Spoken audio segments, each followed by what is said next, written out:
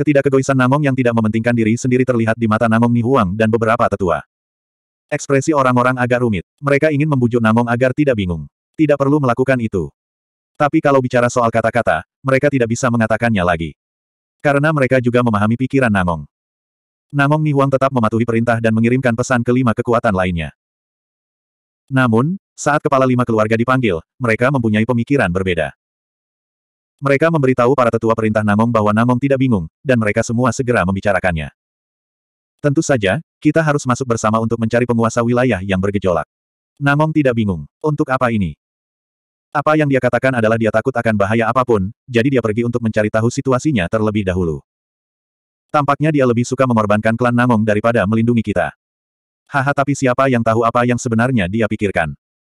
Penguasa wilayah yang bergejolak telah menunjukkan niatnya untuk menyerah. Itu adalah orang yang lemah. Apa bahayanya? Saya pikir dia mungkin ingin mengambil pujian untuk itu. Ya, untuk waktu yang lama, enam keluarga kami telah bekerja sama untuk mencapai hasil yang baik. Tapi kredit yang terlalu sulit didapat tidak banyak kredit. Namong tidak bingung dengan wakil pemimpin. Dia terlalu encer. Tentu saja, dia ingin memberikan kontribusi sesegera mungkin.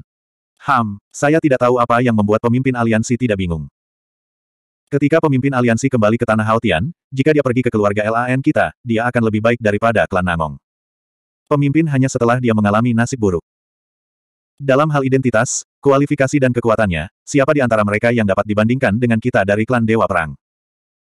Memang benar kita menghormati Dewa Pedang, namun bukan berarti kita harus tunduk pada klan Namong. Jangan dengarkan Namong. Dia ingin mengambil pujian sendirian, tapi kami tidak akan membiarkan dia berhasil. Namong tidak meragukan wakil pemimpin ini. Itu tidak layak untuk namanya. Dia mengetahuinya di dalam hatinya sendiri, jadi dia ingin berbuat lebih banyak untuk menenangkan pikiran, tapi kita tidak bisa membiarkan dia bahagia. Meski Kelima keluarga itu terpisah dan masing-masing berada dalam satu fregat. Namun ketika mendapat kabar tersebut, reaksi mereka sama saja. Tidak pantas mendapat posisi wakil pemimpin. Sekalipun Namong tidak bingung membiarkan klan Namong menjadi umpan meriam, mereka tidak akan menghargainya. Mereka juga menganggap Namong tidak bingung dan ingin mendapat pujian. Jadi, muncullah pemandangan yang sangat memalukan. Di dekat pintu masuk alam rahasia, kapal perang klan Namong memimpin dan langsung menuju pintu masuk. Rencananya, Kapal perang lima keluarga lainnya harus memperlambat kecepatan dan menjauh ribuan mil untuk melihat perubahan. Setelah klan Namong memasuki gua dan mengetahui situasi aman, kapal perang kelima keluarga akan menyusul. Namun kini, kapal perang kelima keluarga tersebut tidak berniat melambat sama sekali. Mereka masih mengikuti kapal perang klan Namong dan bergegas menuju pintu masuk alam rahasia. Melihat pemandangan ini, Namong tidak bingung dan langsung mengerutkan kening. Wajahnya tidak terlalu tampan. Tapi dia tidak marah, hanya kilasan ejekan diri yang melintas di matanya. Haha, sepertinya prasangka mereka terhadap kursi ini tidak bisa dihilangkan dalam semalam. Namong Nihuang dan beberapa tetua semuanya terlihat marah dan tidak bisa menahan diri untuk tidak berbicara. Apakah ada wakil pemimpin di mata mereka? Hentikan. Mereka tidak yakin. Kepala kita telah menjadi wakil pemimpin, dan dia masih menahan napas. Berprasangka buruk terhadap tuan kita, mereka tidak bisa mengolok-oloknya sebagai perintah militer. Ya, jika terjadi sesuatu, pemimpin akan menyelidikinya. Bisakah mereka memikul tanggung jawab tersebut? Kelima tetua dipenuhi dengan kemarahan. Namong Ni. Huang juga menunjukkan alisnya dan mengerutkan kening, dan berkata dengan acuh tak acuh, kamu tidak perlu membicarakannya lagi. Berkonsentrasilah pada persiapan perang. Hal-hal ini harus dilaporkan kepada pemimpin setelah perang, dan dia akan menanganinya secara alami. Dan yang harus kita lakukan adalah melakukan yang terbaik untuk menyelesaikan tugas tersebut. Kita tidak boleh mengecewakan pemimpin, apalagi mempermalukannya. Beberapa tetua dengan cepat mengangguk untuk mengiyakan, tidak lagi membahas masalah ini. Mereka semua menahan amarah mereka, tetap tenang dan mulai mengerahkan anak-anak Namong. Sua. Kapal perang klan Namong tiba di pintu masuk tempat rahasia dan berhenti dengan cepat. Ketika pintu kabin dibuka, Namong bergegas keluar tanpa keraguan. Namong Nihuang dan lima tetua, dipimpin oleh 1.200 anak, juga bergegas keluar dari kapal perang. Sua. Dalam waktu singkat, orang-orang klan Namong mengepung Yuntai di dekat pintu masuk tempat rahasia. Ada lebih dari seratus penjaga elit yang menjaga altar susunan masuk dan keluar dari tempat rahasia di platform awan, yang tergantung di lautan awan. Mereka juga menjaga kewaspadaan dan kewaspadaan. Ketika mereka melihat kapal perang datang, mereka sudah mengirimkan pesan kepada orang-orang di wilayah rahasia. Ketika anak-anak klan Namong mengepung Yuntai, lebih dari seratus penjaga dengan cepat melambaikan tentara sihir dan melancarkan serangan tanpa rasa takut. Tiba-tiba, langit tertutup langit, menutupi matahari di siang hari. Melihat pemandangan ini, orang-orang klan Namong tertegun sejenak, ada yang luar biasa. Bagaimana situasi para penjaga rumah Tuhan? Lebih dari seratus penjaga, dikelilingi oleh ribuan pasukan kita, berani mengambil inisiatif menyerang. Mereka sekarat. Tampaknya situasinya tidak baik. Bukankah kamu mengatakan bahwa penguasa wilayah gejolak sudah lama berniat untuk menyerah? Aku tidak bisa melihatnya sama sekali. Meskipun pemikiran ini terlintas di benak orang-orang, mereka tidak punya waktu untuk mengucapkan mantra untuk melawan. Membunuh mereka. Mereka yang menghalangi kemajuan tentara kita akan dibunuh tanpa ampun. Namong tidak bingung, dan Namong Nihuang satu demi satu mengeluarkan perintah dengan tegas. Sua-sua. Tiba-tiba, lebih dari seribu anak-anak Namong, yang siap berangkat, meledak menjadi kekuatan ilahi yang kejam, melepaskan serangan ilahi yang menghancurkan langit dan bumi. Cahaya dan bayangan ajaib yang menutupi langit dan matahari, segala jenis angin, api, dan guntur, mengalir turun seperti semburan air, menenggelamkan lebih dari seratus penjaga. Bang, boom. Bang, bang, bang. Kedua sisi serangan ilahi bertabrakan, mengeluarkan suara yang memekakkan telinga, menyebar hingga puluhan ribu mil. Serangan ilahi dari para penjaga itu langsung diblokir dan dihancurkan berkeping-keping, tanpa ada hal mematikan yang bisa dibicarakan. Dan pemboman anak-anak Namong, kemudian lebih dari seratus penjaga jatuh ke air, membunuh dan melukai banyak orang. Para penjaga dikalahkan dalam sekejap. Ratusan orang tewas di tempat, dan tidak ada tulang yang ditemukan. Lebih dari 50 orang yang selamat juga terluka parah, berdarah dan terengah-engah. Kali ini, kelima keluarga juga mengirimkan anak dalam jumlah besar, siap ikut berperang. Lusinan penjaga yang masih hidup berbalik dan mundur tanpa ragu-ragu. Karena mereka ingin melarikan diri kembali ke tempat rahasia, mereka harus membuka altar susunan dan membuka pintu masuk tempat rahasia. Ketika mereka melewati pintu cahaya oval dan melarikan diri kembali ke tempat rahasia. Namong tidak bingung, dan Namong Nihuang dan yang lainnya menyusul, membunuh beberapa penjaga yang menutup barisan, dan memimpin untuk bergegas ke tempat rahasia. 4122 Ketika orang-orang klan Namong bergegas ke tempat rahasia, mereka menyatakan pintu masuk tempat rahasia itu hilang. Namong tidak bingung dan Namong Nihuang dan yang lainnya, bersama anak-anak Namong, mengejar dan membunuh lebih dari 50 penjaga yang melarikan diri. Kelima keluarga itu segera mengikuti dan menyerbu masuk. Setelah mereka memasuki tempat rahasia, beberapa kapal perang mengikuti. Lebih dari 6.000 putra dan putri klan membunuh bagian tengah dari tanah rahasia dan menunjuk ke gua penguasa ombak. Keenam kapal perang tersebut mengikuti pasukan dari dekat, mengawal tentara di kedua sisi, dan memantau pergerakan di sekitar mereka setiap saat. Tentu saja, lima keluarga terakhir hanya ingin bergegas, dan tidak bisa membiarkan klan Namong memimpin. Di jantung istana, tapi tidak memikirkan hal lain. Itu tidak normal. Penguasa wilayah yang bergolak telah lama memiliki gagasan untuk menyerah. Karena dia belum melarikan diri sejauh ini, kita telah tiba. Dia harus menyerah. Orang bodoh juga tahu bahwa dia tidak dapat memilih untuk melawan, itulah jalannya. Bunuh diri. Bahkan lebih dari seratus penjaga di pintu masuk tempat rahasia tidak perlu berkorban lagi. Bahkan jika dia ingin bertindak, dia tidak perlu mengambil nyawa ratusan penjaga untuk bertindak. Apakah Tuan, tebak lamakan? Apakah situasinya berubah? Memikirkan hal ini, Namong tidak ragu bahwa tanda peringatan muncul di hatinya dan memperlambat kecepatan serangan. Dia lebih memperhatikan memantau pergerakan di sekitarnya. Dia berpikir jika penguasa ombak ingin melakukan trik apa pun, dia mungkin akan memasang jebakan dan penyergapan. Selama dia lebih berhati-hati untuk tidak memasuki perangkap pihak lain, dia bisa mengambil alih dan mengambil inisiatif. Namun, klan Namong memerintahkan dan melarang, menuruti perintah Namong tanpa bingung, memperlambat kecepatan. Namun, 5.000 anak dari lima keluarga tidak melambat, melainkan memanfaatkan kesempatan tersebut untuk mempercepat pengejaran lebih dari 50 penjaga yang melarikan diri. Lebih dari 5.000 dari kita tidak dapat menyelesaikan lebih dari 50 penjaga yang terluka. Jika kita membiarkan lusinan penjaga itu melarikan diri kembali ke rumah Tuhan, kita akan kehilangan seluruh muka kita. Apa yang ingin kamu lakukan? Jika kamu ingin menyerah, kamu harus mengakui kekalahan dan membiarkan para penjaga melawan. Dalam hal ini, beri mereka warna untuk melihat. Lebih dari 50 penjaga harus dibunuh untuk menakuti penguasa ombak. Orang-orang dari lima keluarga semuanya memiliki gagasan ini. Dan faktanya, mereka memilikinya. Lebih dari 50 penjaga yang terluka parah tidak melarikan diri dengan cukup cepat, dan mereka segera disusul oleh lima keluarga. Ada lebih dari 200 anak klan yang bergegas ke depan. Salah satu dari mereka menunjukkan keterampilan sihir dan membunuh lebih dari 50 penjaga. Terlebih lagi, kematian mereka sangat menyedihkan. Mereka tidak memiliki tubuh yang utuh, dan semuanya berkeping-keping. Lebih dari 50 penjaga terbunuh, dan bakat dari lima keluarga sangat gembira dan mendapatkan kembali kejantanan mereka. Mereka tetap tidak melambat, dengan sikap yang sangat percaya diri dan mendominasi, bergegas menuju rumah induk. Namong tidak bingung melihat postur mereka, dan dengan cepat berteriak untuk mengingatkan orang agar memperlambat, berhati-hatilah agar pihak lain menyergap. Tapi di mana kelima keluarga itu mendengarkan? Banyak bapak leluhur dan sesepuh yang menunjukkan senyuman lucu, anak-anak dari semua suku tertawa, bahkan ada yang mulai menggoda dan menyindir. Hahaha, ada puluhan ribu orang di rumah utama di wilayah yang bergejolak, dan ada sekitar seribu orang yang bisa disebut Raja Dewa Perang. Bahkan jika mereka ingin melawan dan menyiapkan penyergapan, apa gunanya? Enam keluarga kita bersatu. Kita semua adalah prajurit yang hebat dan jenderal yang kuat. Apakah kita takut pada penguasa ombak belaka? Ada apa dengan Namong? Bagaimana menjadi penakut dan penakut? Apakah karena kamu tidak bisa memanfaatkannya, tapi kamu ingin melakukan hal lain? Ha! Haha kemungkinan besar. Namong. Kata-kata ini didengar oleh orang-orang klan Namong, dan mereka semua marah. Banyak pria berdarah marah dan memandang anak-anak dari semua kelompok etnis. Namun, Namong Nihuang telah mengeluarkan perintah tegas untuk melarang perselisihan internal di bagaimanapun, jika tidak, maka akan dihukum dengan aturan klan yang paling berat. Oleh karena itu, masyarakat klan Namong hanya dapat bertahan untuk sementara waktu.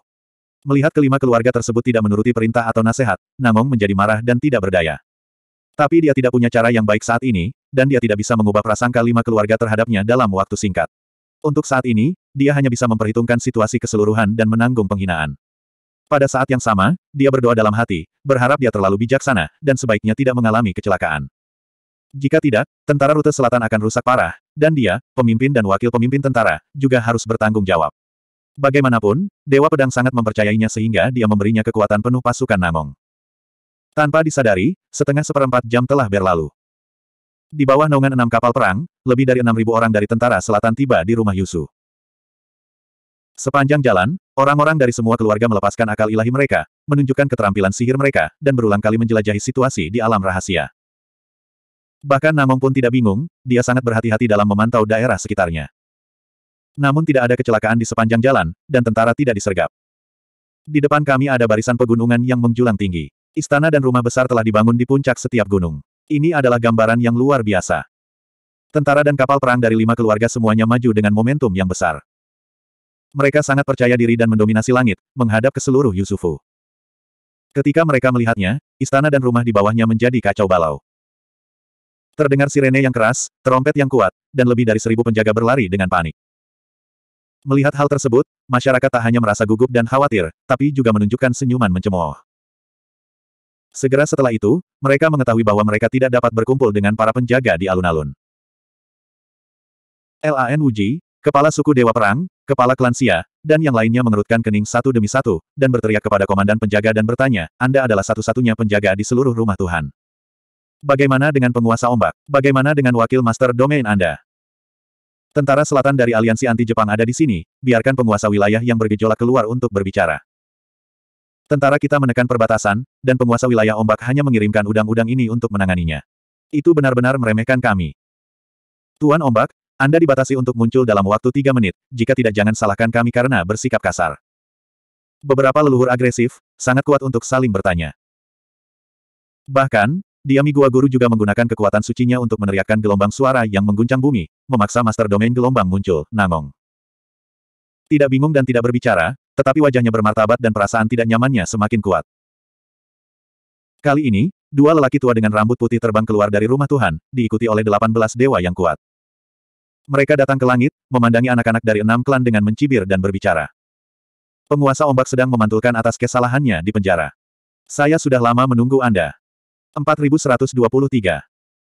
Tiba-tiba, dua lelaki tua berambut putih dan delapan belas dewa dikejutkan oleh enam keluarga. Secara khusus, perkataan kedua orang tua itu membuat wajah orang-orang berubah drastis, dan mereka menyebutnya buruk di dalam hati. Tidak, sepertinya kita terjebak dalam perangkap. Percaya diri dan singkirkan itu. Sialan, pantas saja aku merasakan sesuatu yang salah sebelumnya. Aku tidak menyangka bahwa penguasa ombak begitu berani sehingga dia benar-benar memasang jebakan. Dengarkan lelaki tua berjanggut putih itu. Mereka telah memenjarakan penguasa ombaknya. Ini menunjukkan bahwa ini bukanlah penyergapan yang dirancang oleh penguasa domain gelombang, tapi kedua lelaki tua itu yang melakukannya. Kedua lelaki tua itu diutus oleh kaisar. Begitu, mereka tahu bahwa penguasa ombak berniat untuk menyerah, jadi mereka menangkapnya.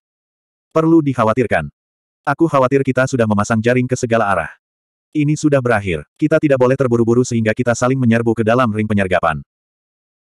Kepala, tetua, dan anak-anak dari lima keluarga semuanya berbisik, dan ekspresi mereka bermartabat. Tentu saja komentar dan prediksi mereka langsung terverifikasi. Saat suara mereka turun, pegunungan di segala penjuru langsung menerangi langit dan bumi.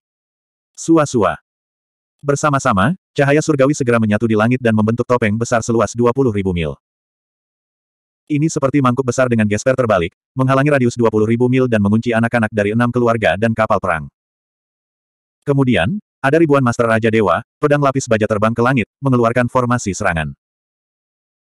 Selain itu, ada 30 Master Sen Wang yang kuat yang tersebar ke segala arah, menempati posisi inti dari susunan pertempuran ofensif, memimpin lebih dari 3.000 Master Sen Jun. Dalam sekejap, pasukan Zushen semuanya keluar, memperlihatkan pengepungan jebakan, seperti binatang buas yang memperlihatkan taring tajam. Suasana pembunuhan dan pemotongan yang tak terlihat segera menyebar di langit dan bumi, membuat suasana menjadi sangat khusyuk dan khusyuk. Kelima keluarga merasa malu dan khawatir. Pada saat yang sama, beberapa orang menyesal tidak mendengarkan nasihat Namong. Lagi pula, sebelum memasuki tempat rahasia, Namong tidak bingung mengingatkan orang akan bahayanya dan membiarkan klan Namong memasuki tempat rahasia untuk menjelajahi situasi terlebih dahulu. Bahkan setelah memasuki alam rahasia, Namong tidak bingung dan mengingatkan semua orang lagi. Namun kelima keluarga tersebut tidak mendengarkan nasihat, dan mereka langsung melakukan penyergapan. Orang-orang pasti berpikir bahwa jika mereka mendengarkan nasihat Namong, hasilnya tidak akan seperti itu sekarang. Setidaknya, hanya klan Namong yang disergap, mereka tidak akan berada dalam situasi putus asa. Memikirkan hal ini, kelima keluarga semuanya merasa menyesal dan menyesal. Banyak orang tanpa sadar menoleh untuk melihat reaksi Namong Puhu dan lainnya.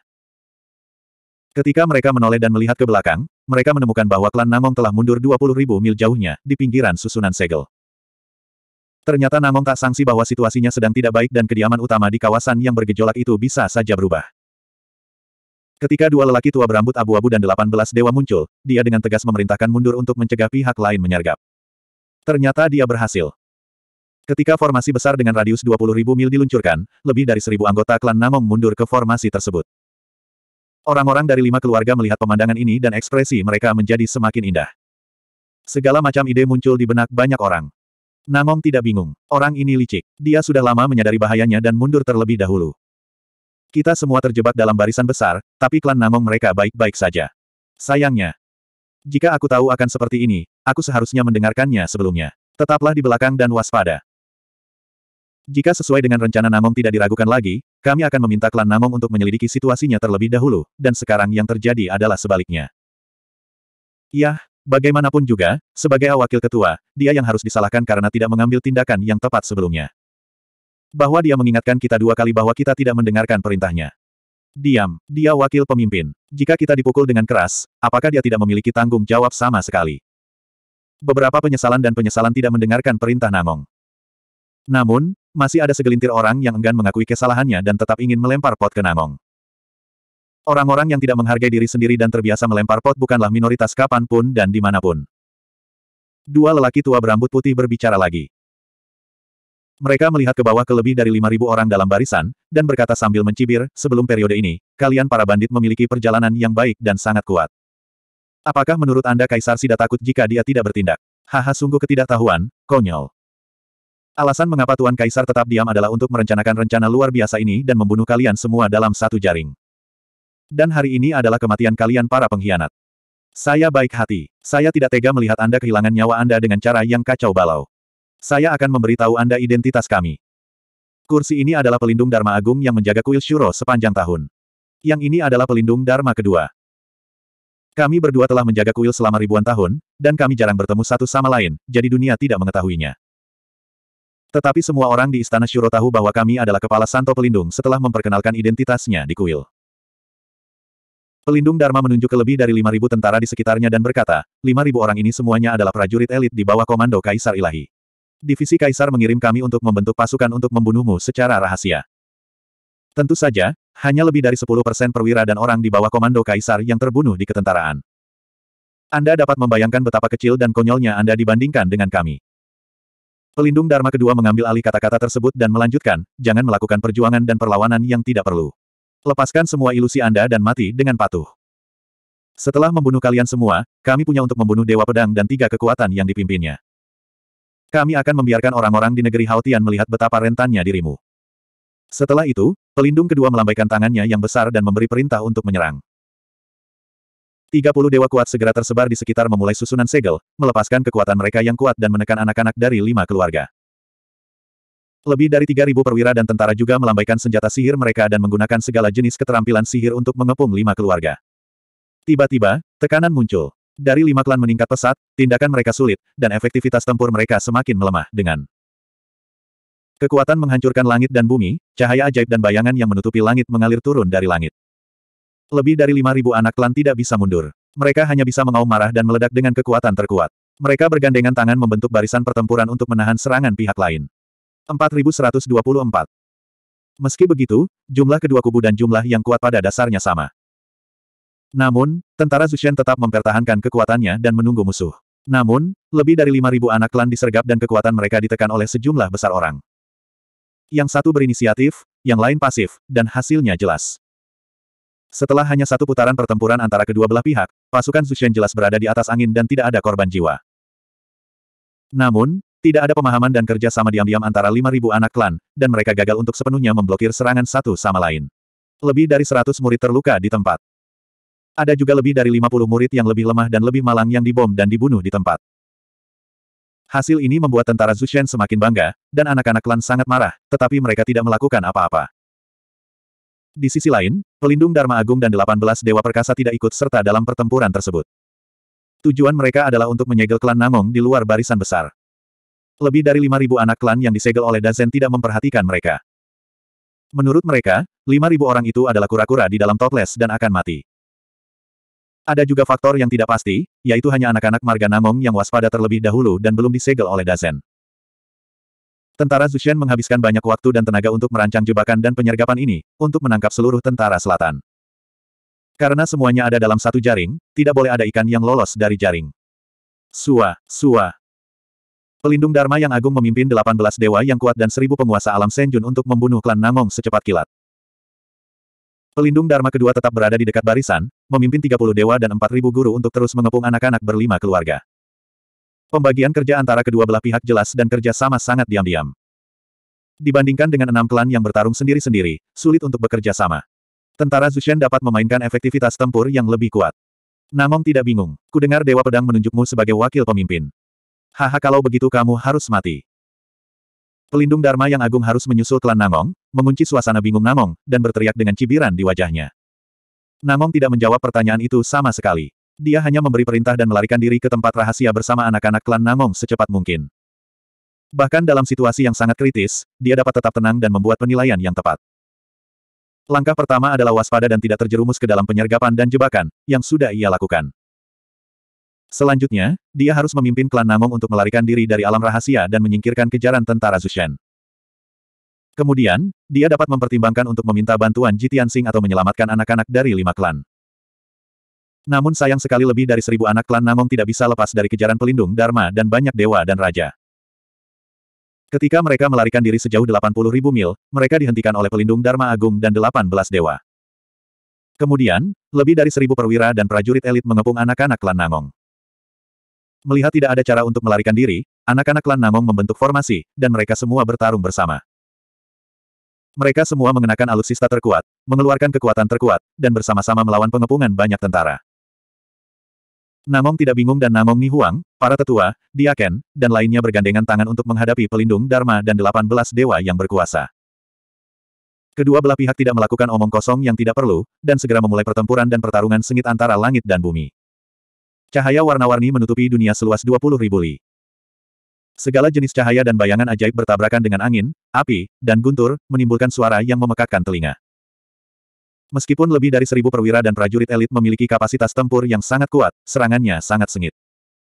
Namun anak-anak klan Namong melakukan upaya bersama dan bekerja sama dengan sangat baik. Mereka bahkan memblokir serangan tersebut. Pertarungan putaran pertama segera berakhir, dan hanya 20 anak klan Namong yang terluka. Ini bukan hanya hasil dari upaya bersama dari banyak anak-anaknya, tetapi juga hasil dari upaya Namong membantu masyarakat berlindung dengan kapal perang. Kapal perang itu adalah kapal perang Namong yang tidak diragukan lagi, artefak kelas atas raja, dan kapal perang terkuat dari klan Namong. Bagi yang lain, saya yakin saya tidak tega menggunakan kapal saya sendiri sebagai artefak untuk melindungi murid-murid saya. Namun, Namong tidak bingung. Dia hanya ingin mengurangi korban jiwa murid-muridnya dan menundanya selama mungkin. Hanya dengan begitu dia dapat memiliki kesempatan untuk melawan dan melarikan diri dari alam rahasia. Jadi dia tidak peduli dengan kapalnya. Kapal perang besar itu tidak hanya memblokir banyak serangan magis, tetapi juga membuka susunan dewa secara sembarangan, yang meningkatkan kekuatannya hingga ekstrim dan melepaskan artileri paling ganas. Oleh karena itu, terdapat korban jiwa di antara anak-anak klan Namong dan lebih dari seribu tentara Zushen. Pada konfrontasi putaran pertama, kedua belah pihak berimbang dan tidak ada pihak yang memanfaatkannya. Namun, pelindung Dharma memimpin 18 dewa yang kuat, tetapi dengan tegas menekan Namong Puhu dan Namong Nihuang. Bagaimanapun, pelindung Dharma yang agung memiliki dewa yang lebih kuat dan kekuatan keseluruhan yang lebih kuat. Pelindung Dharma yang agung adalah Raja Dewa di periode akhir Jiuchong. Dia sedikit lebih kuat dari Namong Fuzu dalam hal kekuatan. Selain itu, kekuatan rata-rata dari 18 dewa yang kuat juga melampaui Namong Nihuang, beberapa tetua dan diaken. Oleh karena itu, situasi perang di langit yang tinggi semakin sengit, dan Wudu Namong serta para dewa dan raja keluarga Namong berada dalam situasi yang lebih berbahaya. Setelah beberapa gerakan, Namong ditekan oleh pelindung Dharma dan berada dalam posisi pasif dan inferior. Namong Nihuang dan beberapa diaken terluka dan pakaian mereka berlumuran darah. Situasinya tidak optimis, namun Namong tidak mudah menyerah. Dia masih mencoba yang terbaik untuk mengeluarkan semua kartu dan keterampilan uniknya untuk melawan pelindung Dharma dengan sengit. Setelah lebih dari sepuluh gerakan, dia akhirnya menemukan kesempatan untuk mengirim pesan ke Yujian. Itu adalah Slip Giok yang melaporkan situasinya kepada Jitian Sing dan meminta bantuan. Meskipun Namong tidak berharap Jitian Sing berada jauh di utara Gua Yansu, dia tidak bisa datang untuk menyelamatkannya. Tidak peduli seberapa cepat Jitian Sing, dibutuhkan satu setengah hari untuk sampai ke sini. Pada saat itu, perang sudah lama berakhir, dan anak-anak dari enam klan akan dibunuh oleh tentara Zushen. Namun Namong tidak bingung, dia tetap ngotot menjalankan tugas wakil ketua. Bahkan jika pasukannya sendiri akan dihancurkan di sini, dia akan mengatakan yang sebenarnya kepada Jitian Sing sesegera mungkin. Hanya dengan cara inilah Jitian Sing dapat melakukan penyesuaian strategis secara tepat waktu dan menemukan solusi. Bukan karena beritanya diblokir, tapi juga karena serangan diam-diam tentara Zushen, dalam rencana divisi kekaisaran. Pada saat yang sama, Namong tidak bingung, tetapi juga melontarkan gagasan seperti itu. Tuan Long, saya sudah mencoba yang terbaik. Sayang sekali kami tidak bisa memenangkan penonton dalam waktu sesingkat itu, dan kami tidak bisa mempertahankan lima lainnya. Saya minta maaf atas kepercayaan Anda. Saya khawatir kekalahan ini juga akan mempengaruhi rencana balas dendammu. Aku benar-benar malu dan menyesal. Jika kamu mati di sini hari ini, itu saja. Jika kamu selamat, kamu tidak akan tahu malu. Sayangnya, dengan desahan yang dalam di hatinya, Namong tidak bingung dan berhenti berpikir tentang hal lain. Dia mengesampingkan hidup dan mati, dan berusaha sekuat tenaga untuk menunjukkan keahlian uniknya, bertarung dengan pelindung Dharma yang agung. Bahkan jika dia harus mati hari ini, dia akan bertarung sampai saat terakhir, dan mati dengan terhormat dan bermartabat. 4125 Di dalam dunia rahasia, medan perang dibagi menjadi dua bagian. Salah satunya adalah klan Namong dan pelindung Dharma Agung, yang bertarung sengit, bertarung dalam kegelapan. Medan perang lainnya, tentu saja, berada di dekat rumah utama di wilayah yang bergejolak. Dalam formasi segel 20.000 mil, anak-anak dari lima klan masih berjuang untuk melawan pengepungan tentara Zushen dan berjuang untuk mendukungnya. Setelah seperempat jam pertempuran, pertempuran telah memasuki titik panas. Arai segel dengan radius 20.000 mil telah diserang puluhan ribu kali.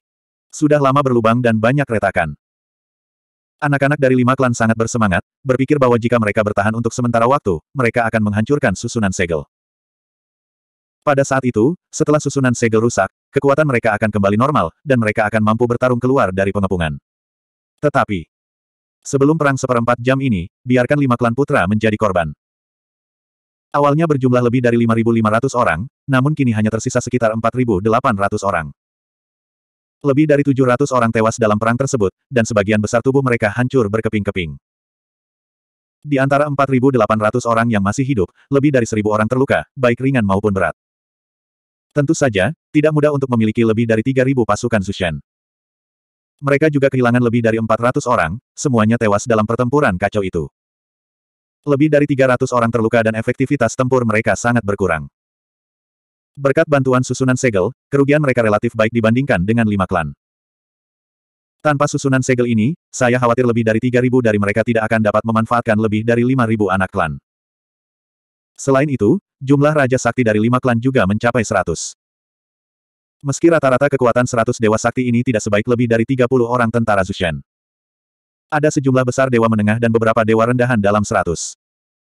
Sebaliknya, lebih dari tiga puluh Raja yang membunuh tentara Senjun semuanya berada di atas lima tingkat. Namun, jumlah Raja Dewa di lima klan benar-benar lebih banyak. Sekalipun tingkat kekuatan pribadinya rendah, dua atau tiga orang dapat saling mengepung. Oleh karena itu, Hingga saat ini, lebih dari 30 dewa yang dipimpin oleh pelindung kedua belum mengambil keuntungan apa pun.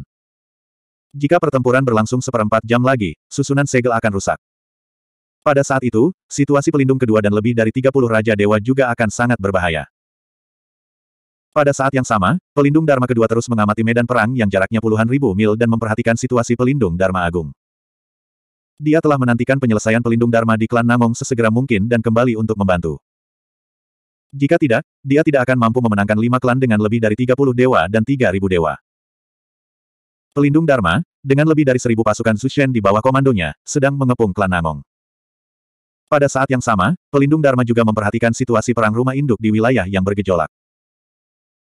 Tentu saja, dia tahu bahwa hanya lima klan yang dapat dijebak oleh pelindung kedua Dharma dan lebih dari tiga ribu tentara Zushen, dan sulit untuk melenyapkan mereka.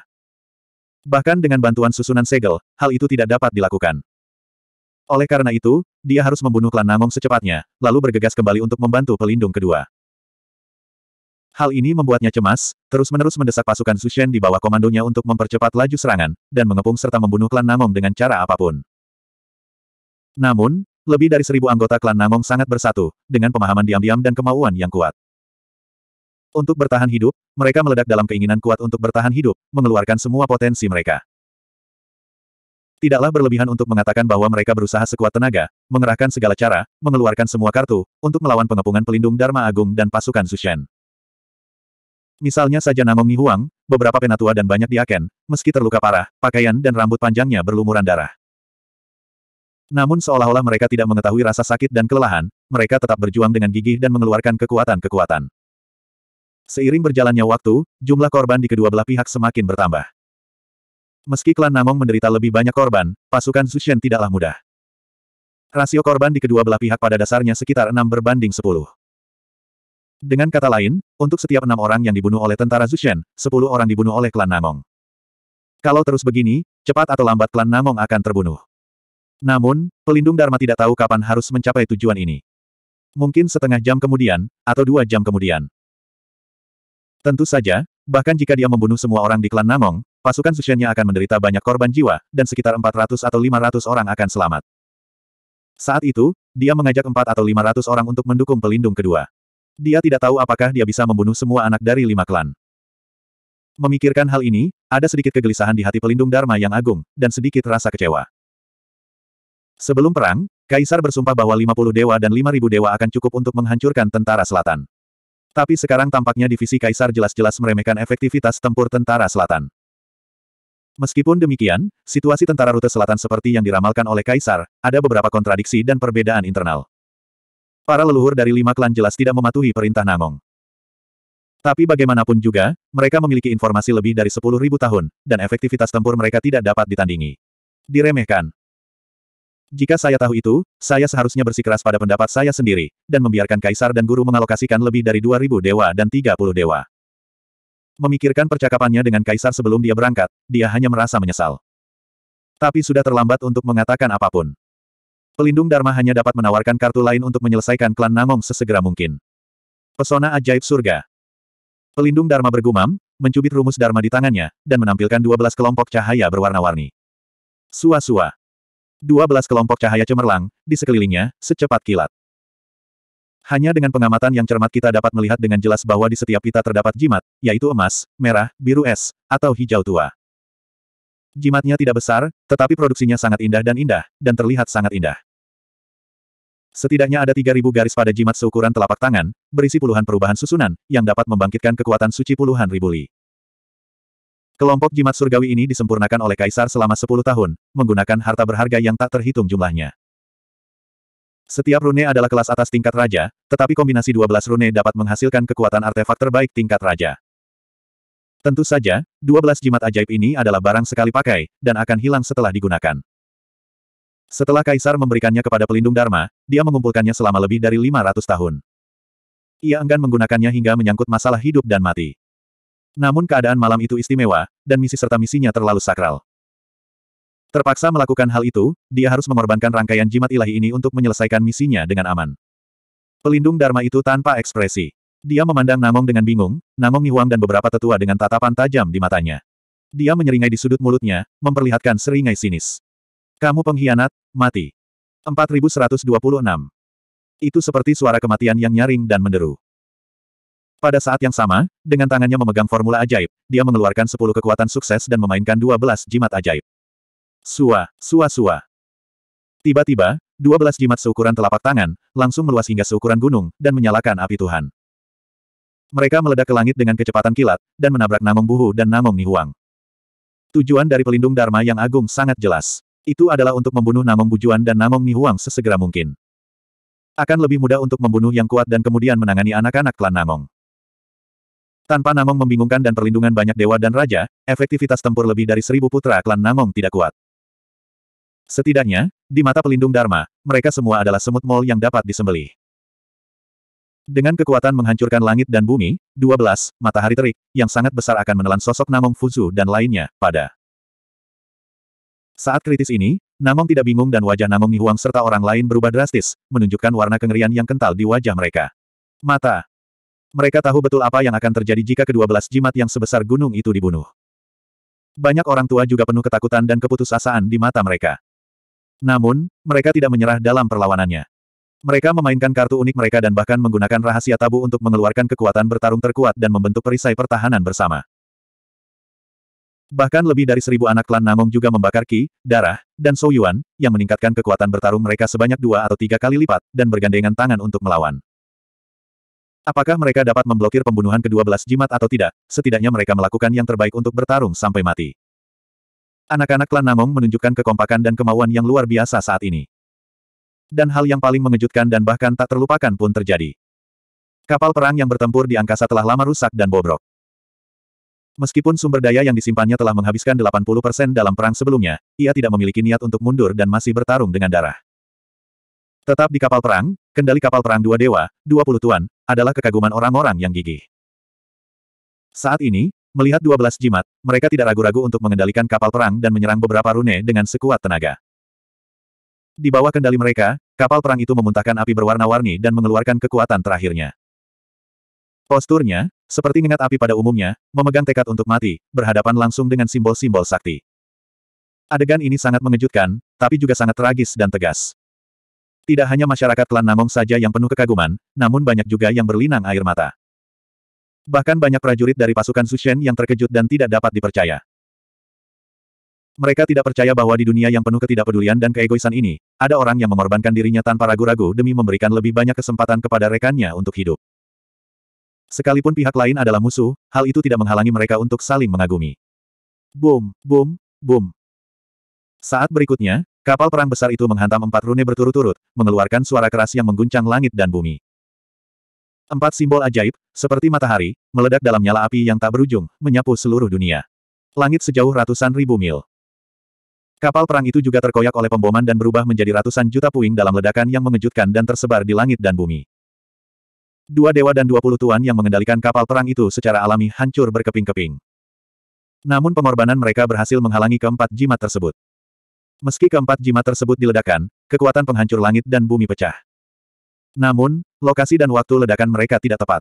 Api warna-warni yang mengerikan menyebar di dalam langit tinggi, yang berdampak kecil pada anak-anak marga Namong. Setidaknya keempat jimat tersebut tidak mencapai efek yang diharapkan, hanya berdampak pada lebih dari seratus anak marga Namong. Di antaranya, lebih dari 20 orang tewas akibat pengeboman. Yang lainnya terluka dan khawatir dengan kehidupan mereka. Selain itu, delapan jimat sebesar gunung menghantam perisai pertahanan yang dibentuk oleh Namong Pubing, Namong Nihuang, Penatua, dan Diaken. Perisai cahaya warna-warni yang tebal dan bermartabat langsung hancur berkeping-keping dan terciprat. Delapan jimat juga meledak untuk menghalangi langit dan matahari, menenggelamkan puluhan ribu mil di sekitarnya. Di kawasan ini, seluruh gunung dan sungai telah berubah menjadi debu dan reruntuhan bumi terbakar dalam nyala api warna-warni. Awalnya, nyala api warna-warni yang menghancurkan langit dan bumi bisa menyebabkan lebih dari seribu orang klan Namong meninggal dan melukai lebih dari 80 persen. Namun jangan lupa, lebih dari seribu anak Namong pun berusaha sekuat tenaga membentuk tameng pertahanan. Ini setara dengan garis pertahanan dan penghalang ketiga klan Namong. Yang pertama adalah kapal perang, dan yang kedua adalah perisai yang dibentuk oleh Namong Puhu dan lain-lain. Dalam bunyi, bang-bang-bang, dan bangka-bangka, perisai pertahanan yang dibentuk oleh anak-anak Namong juga hancur berkeping-keping. Namun, kekuatan api warna-warni diimbangi lebih dari 80 persen. Kalaupun anak-anak Namong tersapu lagi, tidak menimbulkan banyak korban jiwa. Hanya lebih dari 100 anak-anak Namong terbunuh dan lebih dari 200 orang terluka. Hasil ini jauh dari harapan pelindung Dharma. Alhasil, pelindung Dharma memandang ke arah Namong Puhu dan orang lain yang masih dalam kondisi baik, serta hampir seribu orang Namong. Wajahnya hitam karena marah, matanya merah dan merah. Benci. Bagaimana pelindung Dharma menahan rasa sakit hingga mengeluarkan jimat dewa dan mendapatkan hasil ini? Tapi dia tidak memiliki kartu dan dewa serupa. Tidak peduli betapa marahnya dia, dia hanya bisa memimpin pasukan Sushen di bawah komandonya untuk bertarung dengan orang-orang Namong dan secara bertahap mengurangi jumlah satu sama lain. Tidak realistis membunuh Namong Puhu dan lainnya dengan cara apa pun. Kekuatan ledakan 12 jimat surgawi memang menakutkan. Semuanya rata dengan tanah dan berubah menjadi reruntuhan. Seluruh tempat rahasia berguncang, ruangnya rusak, dan ada retakan di kehampaan. 80 ribu mil jauhnya, medan perang yang memperebutkan rumah utama di wilayah yang bergejolak juga terkena api warna-warni. Susunan segel yang panjang dan retak itu runtuh di tempat. Ketika pertempuran mereda, anak-anak dari lima klan bergembira, bersorak kegirangan dan tersenyum atas keberhasilan. Ketika susunan pertempuran runtuh, tekanan mereka sangat berkurang dan efektivitas tempur mereka kembali normal. Sekarang, dengan keunggulan jumlah mereka, mereka akan mampu melawan pelindung kedua dan 3.000 tentara Zushen. Namun, saat anak-anak dari lima klan penuh dengan kegembiraan, ada cahaya terang di segala arah. Sua. Dalam sekejap mata, langit yang dipenuhi cahaya ilahi berkumpul di langit dan membentuk susunan segel dengan radius 30 ribu mil. Melihat pemandangan ini, anak-anak dari lima marga semuanya menunjukkan rasa kecewa dan marah. 4127. Mengapa kamu memiliki lapisan lain? Pencuri tua yang sangat berbahaya, mereka bahkan memasang susunan segel dua lapis. Sungguh merepotkan. Kupikir kita sudah keluar dari masalah, tapi aku tidak menyangka akan melakukannya lagi. Karena kedua pencuri berambut putih itu sangat berbahaya, susunan segel yang mereka buat mungkin memiliki lapisan ketiga. Kecuali jika mereka menyergap. Di sini lima atau enam hari sebelumnya, mustahil untuk mengatur susunan segel tiga lapis. Tingkat kedua, kita akan keluar dari masalah. Ketika putra dari lima klan melihat kemunculan susunan segel kedua, mereka tidak dapat menahan diri untuk tidak meneriakkan pelecehan dan diskusi. Namun, betapapun marahnya mereka, mereka hanya bisa terus bertarung dan menyerbu susunan segel di kepala mereka. Adegan sebelumnya terulang kembali. Di dunia 30 ribu mil, masih ada kilatan cahaya ilahi, dan segala jenis angin, api, dan guntur menghalangi langit dan matahari. Seiring berjalannya waktu, jumlah di kedua belah pihak terus menurun. Rumah utama dari wilayah yang penuh gejolak di bawah kaki rakyat dihancurkan sejak awal pertempuran dan berubah menjadi reruntuhan. Tentu saja, ratusan istana dan rumah hancur, dan tidak ada pihak yang berperang yang merasa tertekan. Hanya penguasa yang dipenjara di wilayah yang bergejolak yang akan merasakan sakit hati dan darah jika dia melihat kerja keras dan fondasi selama ribuan tahun menghilang. Di sisi lain, pertarungan antara klan Namong dan pelindung Dharma terus berlanjut. Jumlah korban jiwa di kedua belah pihak terus meningkat, dan rasionya masih enam berbanding sepuluh. Namun secara keseluruhan, jumlah korban tewas tidak meningkat pesat. Kekompakan dan kegigihan klan Namong sungguh di luar dugaan. Pelindung Dharma memperkirakan dibutuhkan waktu dua jam untuk membunuh seluruh anggota klan Namong. Tapi pelindung kedua dan 3.000 tentara Zushen tidak akan bertahan selama dua jam. Saat itu, situasi perang pasti akan berubah, bahkan terbalik. Dua perempat jam yang lalu. Perbatasan utara wilayah yang bergejolak. Seperti kilatan petir, kapal perang Tusen menerobos langit dan terbang ke selatan dengan kecepatan tercepat. Pada hari kerja, saat Jitiansing membawa kapal perang Tusen dalam perjalanannya, kapal perang tersebut akan menyembunyikan api dan nafasnya. Namun pada saat ini, untuk membuat kecepatan kapal perang mencapai batasnya, naga putih tidak menyia-nyiakan kekuatan sihirnya untuk bersembunyi. Bagaimanapun, kapal perang Tusen telah beroperasi dalam kondisi ekstrim, menghabiskan miliaran sumber daya batu dewa setiap jamnya. Sejauh ini, dalam waktu kurang dari sehari, kapal perang Tusen telah menghabiskan 80 miliar sumber daya. Membayar harga sebesar itu berarti pergi ke daerah yang bergolak secepat mungkin. Di kokpit di dalam kapal perang, naga putih masih berkonsentrasi memanipulasi susunan sensu. Jitiansing duduk di sofa batu giok dengan lutut bersilang dan terlihat tenang. Semula, betapapun cepatnya kapal perang Tusen, mustahil melintasi tujuh wilayah dan mencapai perbatasan wilayah yang bergejolak dalam satu hari. Tapi Jitiansing akan fleksibel dan bisa menemukan cara tercepat. Dari wilayahnya hingga wilayah yang bergejolak, wilayah tengah ditempati oleh aliansi. Semua master domain dari domain ini menyerah kepada aliansi pemberontak. Dengan cara ini, Jitiansing memerintahkan Master Domain di sepanjang jalan untuk memberinya hak menggunakan susunan Dewa Teleportasi. Setiap kali dia memasuki suatu wilayah, dia akan segera tiba di suatu tempat di selatan wilayah tersebut melalui barisan teleportasi di sebuah kerajaan di utara domain tersebut. Seringkali susunan transmisi dapat membantunya melintasi puluhan juta mil hingga ratusan juta mil. Ini jauh lebih cepat dari kapal perang Tusen. Karena itu, ia mampu menciptakan keajaiban seperti itu, dalam waktu kurang dari sehari di wilayah yang bergejolak. Sayangnya aliansi tersebut belum menaklukkan wilayah yang bergejolak. Jitiansing tidak dapat mencapai bagian tengah area gelombang dengan cepat dari perbatasan utara area gelombang melalui susunan transmisi. Kapal perang Tusen hanya bisa mengerahkan seluruh kemampuannya, langsung menuju tengah wilayah dan tanah rahasia. Tiba-tiba, sebuah cahaya datang dari langit dan jatuh di depan Jitiansing. Setelah auranya menghilang, sebuah tablet batu giok yang sangat indah terungkap. Saat melihat slip giok itu, Jitiansing mengerutkan kening dan memancarkan cahaya di matanya. Sebab, tidak diragukan lagi ini adalah slip giok yang ditinggalkannya ke Namong, yang khusus digunakan untuk melaporkan keadaan darurat dan urusan penting. Melihat kemunculan slip giok, dia menduga sesuatu pasti telah terjadi pada tentara selatan. Sua. Dia segera mengambil slip giok misionaris, dengan akal ilahi di dalamnya, membaca informasi di dalamnya. Tentu saja, Namong tidak bingung, suara serak, sedikit cemas, langsung terdengar di benaknya. Beritahu kami, pemimpin, kami disergap di tempat rahasia ombak.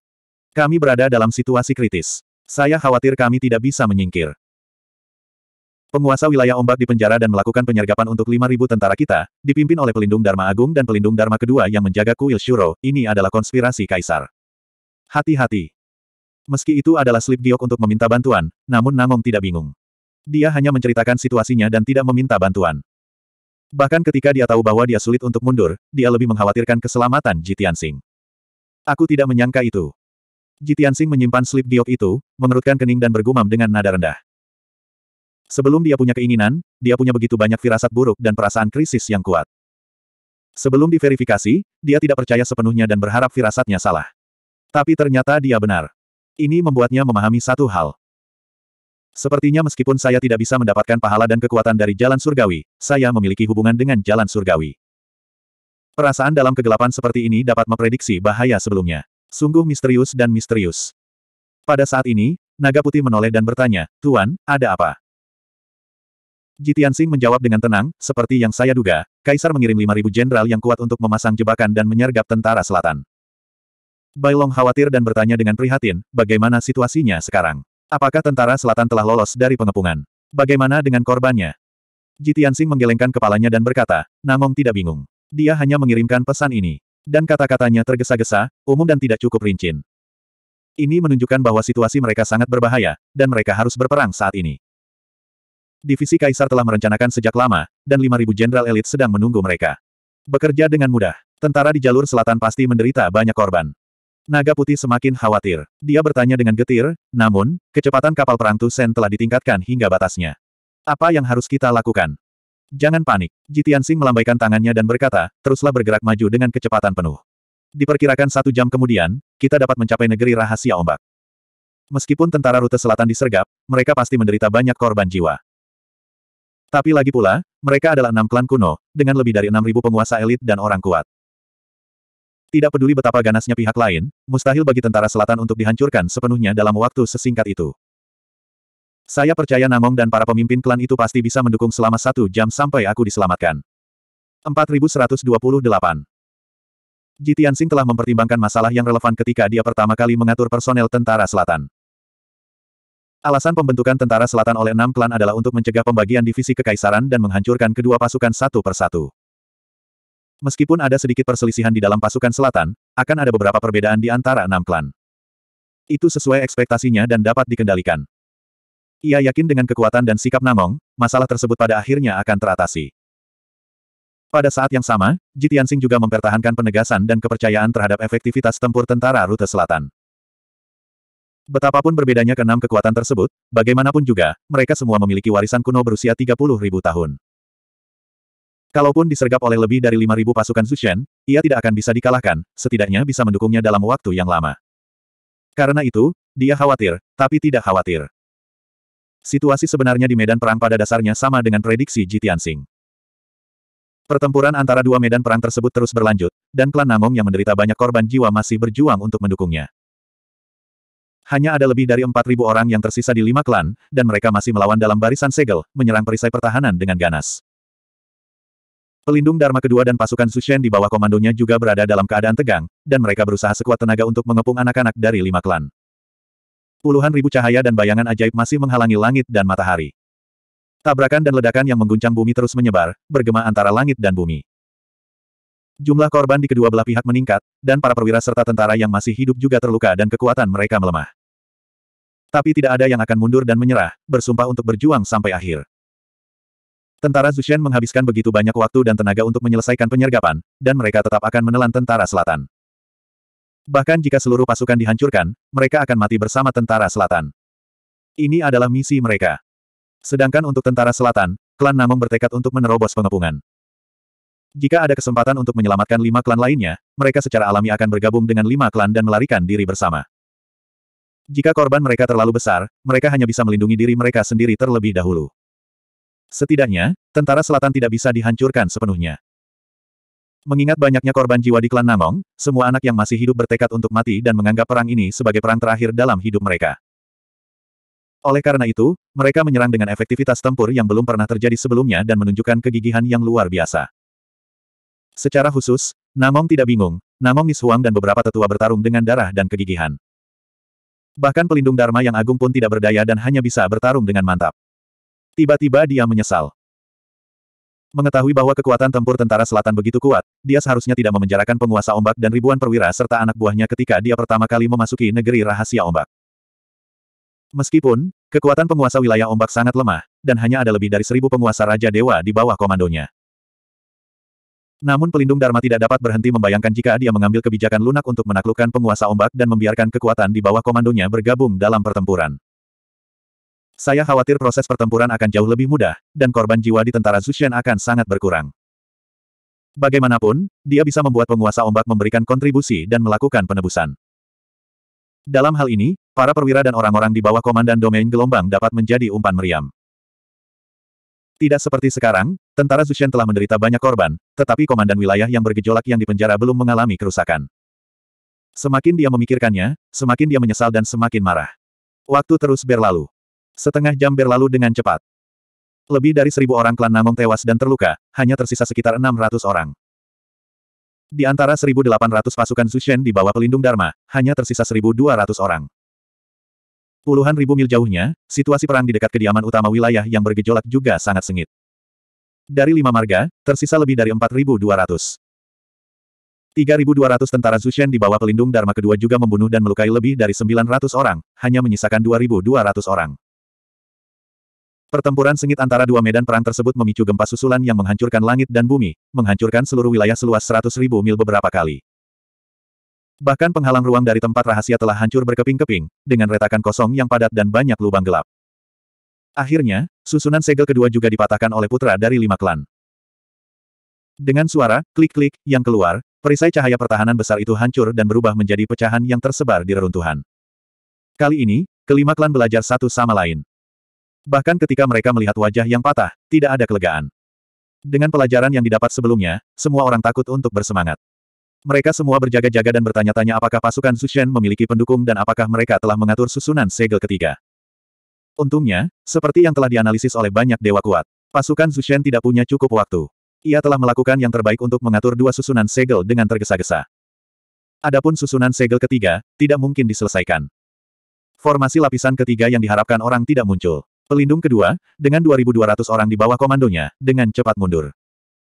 Melihat pemandangan ini, kepala dan tetua dari lima klan ragu-ragu sejenak.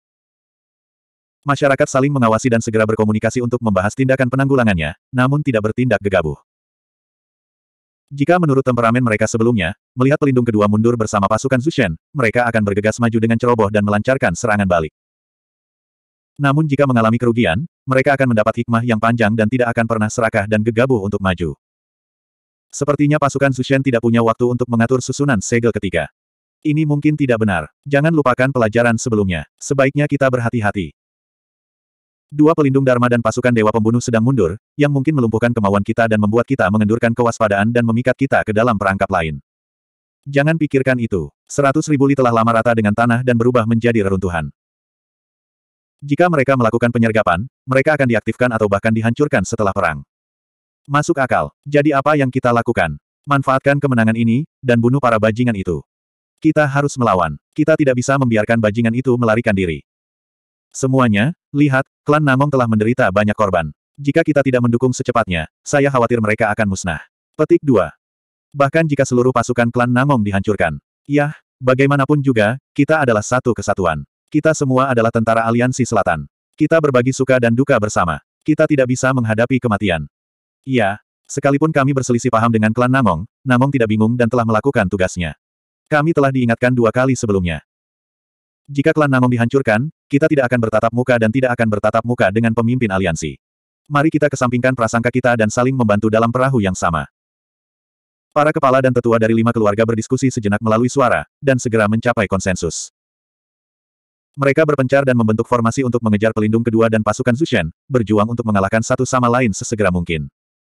Kemudian, mereka akan mendukung klan Namong. 4129. Pelindung kedua Dharma dan 2200 tentara Zushen sangat cemas saat ini. Dengan bantuan susunan segel, mereka dapat menekan anak-anak dari lima klan. Sekarang karena tidak ada susunan segel, sangat sulit bagi mereka untuk menangani 4.200 orang dari lima klan. Jumlah Raja Dewa lebih sedikit 2000 dari pihak lain, dan jumlah Raja Dewa yang kuat lebih dari 50 lebih sedikit dari pihak lain. Jika kamu berjuang keras, pelindung kedua dan pasukan Sushen pasti akan dikalahkan, atau bahkan seluruh pasukan akan hancur. Oleh karena itu, ketika anak-anak dari lima marga berhasil menyusul, strategi pelindung kedua adalah bertarung dan berenang menjauh, bertarung sambil mundur.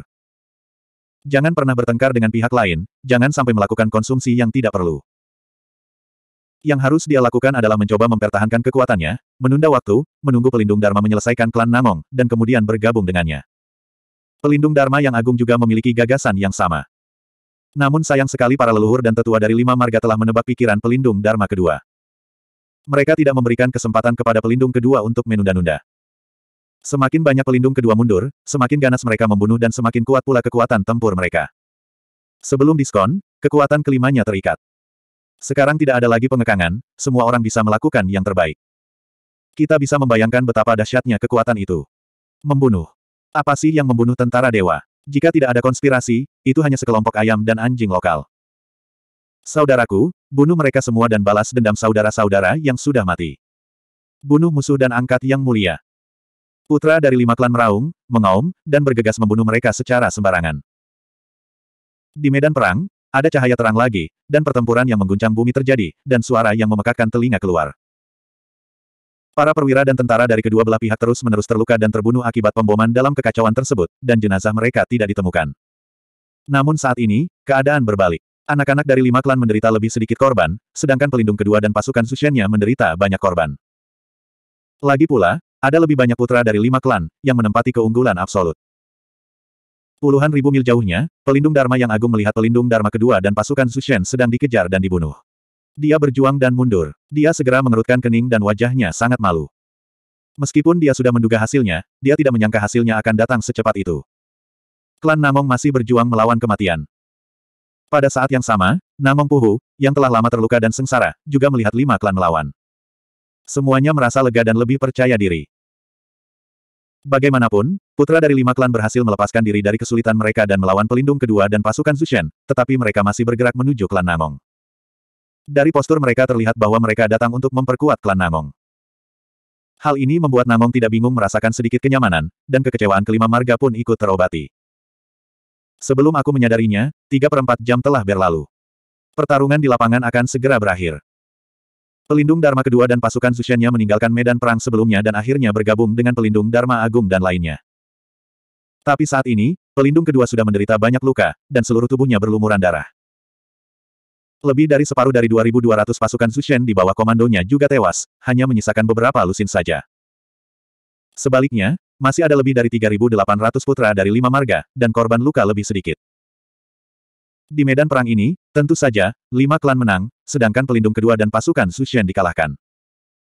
Namun, situasi perang antara pelindung Dharma dan klan Namong justru sebaliknya. Pelindung Dharma Agung hanya terluka ringan, dan hanya tiga dewa di bawah komandonya yang jatuh. Sisanya 15 orang tidak mengalami luka serius. Namong tidak bingung, tapi terluka parah. Namong Nihuang, beberapa penatua dan banyak diaken terluka parah, dan enam dewa lainnya gugur dalam pertempuran berdarah. Lebih dari 500 orang tewas dan lebih dari 600 orang terluka dalam pertempuran antara 1.800 pasukan Sushen di bawah pelindung Dharma. Lebih dari 1.200 anak klan Namong terbunuh, dan lebih dari 500 orang selamat. Awalnya, klan Namong telah mencapai akhir tambatannya. Jika pertempuran berlanjut selama 2 per 4 jam lagi, klan Namong akan dikalahkan dan segera binasa. Namun, pelindung Dharma kedua bergabung dengan pelindung Dharma Agung bersama para jenderal yang kalah. Lebih dari 3.800 anggota dari lima marga juga bergabung dengan marga Namong. Kedua medan perang itu bergabung menjadi satu. Hal ini tentunya bermanfaat bagi pelindung kedua dan pasukan Sushen di bawah komandonya. Namun bagi klan Namong, ini lebih menguntungkan. Setidaknya, klan Namong mendapat kesempatan untuk bernapas, keluar dari bahaya. Untuk saat ini, kedua klan telah meninggalkan hukum melindungi para dewa dan membunuh mereka. Masih ada 4.400 tentara tersisa di tentara selatan, tetapi hanya 2.300 yang tersisa di tentara Zushen. Inisiatif ini kembali ke tentara selatan, tetapi tentara Zushen jatuh ke posisi pasif. Akibat subversif seperti ini sungguh tidak terduga. Putra dari lima klan baru saja mengepung pasukan Zushen dan tidak terburu-buru untuk memulai. Kedua belah pihak saling berhadapan di langit, memanfaatkan kesempatan untuk mengatur napas dan mengatasi cedera. Para dewa yang kuat dari lima klan semuanya mencibir pada pelindung Dharma dan pelindung Dharma. Hehe, apakah ini yang disebut pasukan Zushen? Senjata rahasia yang sudah lama direncanakan dengan cermat oleh Kaisar. Senyumnya lebar. Dua pelindung Dharma, kamu tiba di sini lebih awal dan memasang jebakan untuk penyergapan. Mengapa? Ini satu-satunya cara. Sungguh mengecewakan. Kami berpikir betapa gemetarnya bumi jika Tuan Kaisar mengambil tindakan, tapi kami tidak berharap menjadi seperti anggota keluarga. Jika hanya itu yang Anda miliki, saya khawatir kamu akan musnah hari ini. Menghadapi ejekan dari banyak orang berkuasa, pelindung Dharma Agung dan pelindung Dharma kedua penuh amarah, namun mereka juga sangat pendiam. Saya ingin membalas, namun saya tidak bisa T. Bagaimanapun, itu adalah kebenaran. Mereka memanfaatkan kesempatan itu dan memasang jebakan dan penyergapan terlebih dahulu. Mereka pikir mereka yakin. Tapi mereka tidak memikirkannya. Pada akhirnya, hasilnya seperti itu. Sebelum perang dimulai, mereka memamerkan kekuatan mereka, dan tentara selatan panik, tetapi... Sekarang, tentara rute selatan berperang melawan pengunjung, dan kemenangan ada di tangan. Namun, mereka terjebak dalam pengepungan yang ketat dan sulit untuk diterbangkan. Ini benar-benar tamparan di wajah. Wajah pelindung Dharma itu muram. Dia sangat marah sehingga dia tidak bisa berbicara. Penyesalannya bahkan lebih buruk lagi. Namun, pelindung Dharma kedua tidak bisa menahan amarahnya dan meraung, kalian pengkhianat, jangan liar. Pertempuran belum berakhir. Masih belum diketahui siapa yang akan menang. Kalian, para jenderal yang kalah dan ayam lokal, tidak akan pernah bisa jadilah lawan kita. Kata-kata pelindung Dharma kedua terlalu dilebih-lebihkan. Tapi ada satu hal. Perang belum berakhir, dan hasilnya benar-benar tidak diketahui. Bahkan jika tentara rute selatan memiliki keunggulan yang jelas, masih sulit untuk mengalahkan tentara Zushen, dan itu harus membayar harga yang tragis, bahkan. Para pemimpin klan dari lima klan juga ingin mengambil kesempatan untuk mengganggu semangat tentara Zushen, dan lebih baik membiarkan pihak lain hancur. 4130 Para leluhur klan kuno, serta pelindung Dharma Agung dan pelindung Dharma kedua dari pasukan Zushen, semuanya adalah orang-orang yang tercerahkan. Faktanya, kita semua memiliki pemahaman yang sangat jelas tentang situasi saat ini. Memang benar bahwa tentara selatan memiliki keuntungan, tetapi tentara Zushen, yang memiliki gagasan untuk berakhir dengan cara yang sama, juga dapat menyebabkan kerusakan besar pada tentara selatan. Jika kedua belah pihak bertarung sampai akhir, hasil akhirnya kemungkinan besar adalah tentara Zushen hancur total, dan hanya lebih dari seribu orang di tentara selatan yang bisa bertahan. Dalam hal ini, hanya dua atau tiga ratus orang dari masing-masing enam klan kuno yang selamat, dan kerugian tersebut belum pernah terjadi sebelumnya. Saya khawatir nama tentara rute selatan hanya akan ada sebatas nama saja. Ini adalah hasil yang tidak ingin dilihat oleh enam leluhur. Namun, tidak peduli seberapa besar lima pemimpin klan mengejek tentara Zushen dan menyerang moral pihak lain, tidak mungkin membuat tentara Zushen tertekan, apalagi menyerah saat itu juga. Oleh karena itu, tentara selatan harus mengambil pilihan secepatnya. Apakah berperang sampai akhir dengan tentara Zushen dan memusnahkan seluruh tentara Zushen dengan mengorbankan banyak korban?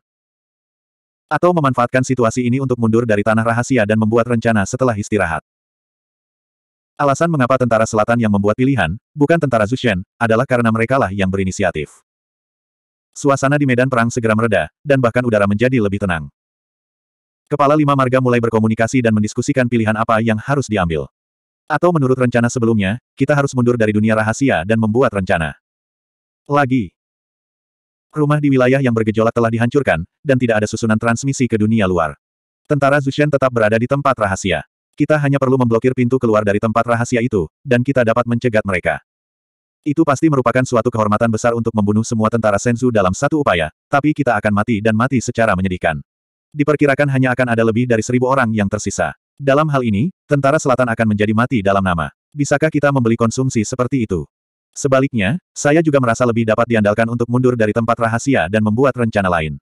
Yah, mari kita tanyakan pada Namong tanpa ragu. Lagi pula, dia adalah wakil pemimpin nominal, dan hilangnya klan Namong sangat mengerikan.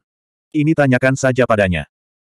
Saat beberapa ketua marga berdiskusi, beberapa orang berpendapat bahwa Namong tidak bingung, sehingga membuat masyarakat merasa tidak nyaman. Namun setelah kejadian sebelumnya, prasangka masyarakat terhadap Namong juga berkurang banyak. Oleh karena itu, beberapa patriark menyetujuinya. Jiang Chuyun, patriark kebangsaan Jiang, atas nama beberapa patriark, mengirim pesan ke Namong dengan bingung dan meminta pendapatnya. Namong terluka parah. Dia diam-diam menggunakan kekuatannya untuk mengatur nafasnya dan menekan organ dalamnya. Mendengar pertanyaan Jiang Chuyun, dia menjawab tanpa ragu-ragu, jika Anda pandai membuat keputusan penting seperti itu, saya khawatir hal itu akan mengganggu moral tentara. Mengapa Anda tidak menunggu sebentar, lalu Anda bisa memberitahu situasi tersebut kepada pemimpin dan memintanya untuk membuat keputusan. Jelas sekali, Namong tidak tahu bahwa kelima leluhur itu mungkin tidak mendengarkannya, jadi dia menyerahkan pertanyaan pilihan ganda kepada Jitian Sing. Apa pun keputusan yang diambil Jitian Sing, semua orang tidak perlu berkata apa-apa dan semua orang akan mematuhinya. Tidak diragukan lagi, ini adalah cara terbaik. Untuk sesaat, Gong Chuyun tidak menyangka akan menghadapinya seperti ini. Tapi ketika dia sadar, dia menganggukkan kepalanya untuk memperjelas. Namong tidak bingung dan mengeluarkan sepotong bambu giok dan mulai memasukkan informasi ke dalamnya. Dia siap melapor ke Jitian Sing. Tapi inilah saatnya semuanya terjadi. Di langit selatan medan perang, ada cahaya putih terang ke arah pintu masuk dan keluar tempat rahasia. Ada kapal perang yang panjang, kuat dan megah, secepat kilat melintasi langit, langsung menuju medan perang. Kecepatan kapal perang itu luar biasa, dan tidak menyembunyikan kejayaannya, serta atmosfer tekanan yang kuat dan tak tertandingi. Ribuan orang di medan perang terkejut. Mereka menoleh dan melihat ke pintu masuk satu demi satu, dan mengunci mata mereka pada kapal dewa. Bahkan Namong yang mengirimkan pesan tersebut pun tidak bingung. Dia juga secara tidak sadar melihat ke langit dan menghentikan transmisi. Hanya dalam dua tarikan napas, kapal perang perkasa itu melintasi langit 80 ribu mil dan mencapai langit di atas medan perang. Sua. Kapal perang megah itu berhenti di langit yang tinggi, dengan cepat menyatukan cahaya yang menyilaukan dan kekuatan yang dahsyat. Hati banyak orang terangkat, menatap kapal perang ilahi, dan pertanyaan yang sama muncul di benak mereka. Kapal orang kuat manakah ini? Bagaimana cara menerobos ke dunia rahasia dengan paksa saat ini? Apakah itu dukungan kuat dari pihak lain? Di satu sisi, pelindung Dharma Agung dan pelindung Dharma kedua yakin bahwa divisi Kaisar sangat percaya diri pada mereka dan tidak akan pernah mengirimkan orang yang kuat untuk memperkuat mereka. Oleh karena itu, kapal perang yang muncul tiba-tiba kemungkinan besar merupakan bala bantuan dari aliansi pemberontak. Enam klan tentara selatan memiliki pertanyaan dan kekhawatiran yang sama. Mereka semua tahu bahwa tidak ada orang kuat yang bisa membantu mereka kecuali pemimpin Dewa Pedang. Namun saat ini, pemimpinnya berada ratusan juta mil jauhnya. Bahkan jika dia tahu bahwa mereka disergap di tanah rahasia, dia tidak dapat mengejarnya. Jadi, kapal perang itu dikirim oleh Kaisar. Tiba-tiba, kedua belah pihak di medan perang menjadi tegang, mengecilkan formasi mereka dan mengambil posisi bertahan. Tepat pada saat ini, di bawah pengawasan ribuan orang, kapal perang itu dikumpulkan. Sosok putih tampan muncul di langit, berdiri di udara, menghadap ke seluruh medan perang. Ada juga seorang pemuda cantik dan aneh dengan rambut putih dan baju besi perak, berdiri di belakangnya seperti seorang pelayan. Mata semua orang mengabaikan pemuda berambut putih itu, semuanya berkumpul di sosok berjubah putih. Saat publik melihat penampilannya, wajah mereka semua berubah, menunjukkan keterkejutan dan ketidakpercayaan. Bahkan lebih dari seribu orang tidak bisa menahan tangisnya. Ya Tuhan, itu dia. Bagaimana mungkin dia? Saya tidak percaya. Bukankah dia di utara? Bagaimana bisa ada di sini? Saya tidak percaya, itu pasti ilusi. Siapa yang berpura-pura menjadi dia? Ya Tuhan, itu adalah penguasa aliansi. Ya Tuhan, bukankah pemimpin di utara? Bagaimana rasanya datangnya dari langit? Hanya satu jam sejak kita menyergap. Bagaimana pemimpinnya bisa datang ke sini? Hahaha sudah lama kukatakan bahwa Dewa Pedang itu maha kuasa. Dia pasti telah menguasai semacam kekuatan sihir tertinggi. Dia dapat melintasi suatu domain dalam sekejap dan melakukan perjalanan dengan bebas di dunia ilahi. Meskipun Anda telah menyebutkan dugaan ini sebelumnya, kami semua menganggapnya tidak masuk akal dan konyol. Tapi sekarang, saya khawatir Anda benar. Sungguh menakjubkan, Tuhanku. Sungguh menakjubkan. Itu hanya keajaiban. Dalam waktu satu jam, di tujuh atau delapan domain, muncul di samping kita begitu saja. Para pendongeng yang mengarang cerita di kedai teh tidak berani melakukannya. Tuhan adalah santo pelindung kami. Dia bisa melakukan apa saja.